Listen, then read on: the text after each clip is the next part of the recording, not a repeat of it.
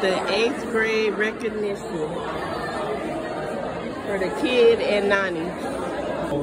Feels like yesterday, probably when you're walking through the halls for the first time with your little sixth grade kids walking through the halls, like, oh my gosh, it's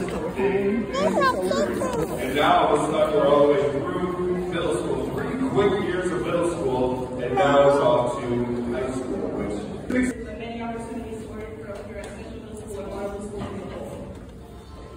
When you first walk into the doors of middle school, you're trying to find yourself as a person that finds things that make you happy.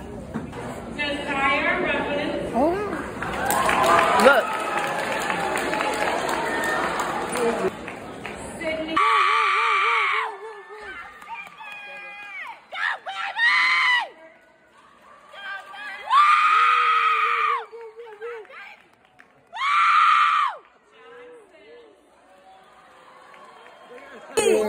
Four more years. Sorry, Mama, I'm sorry.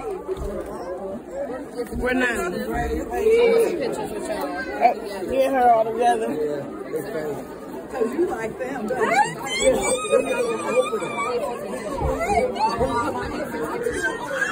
We're going to park, parking lot. Come on, we're doing the parking lot.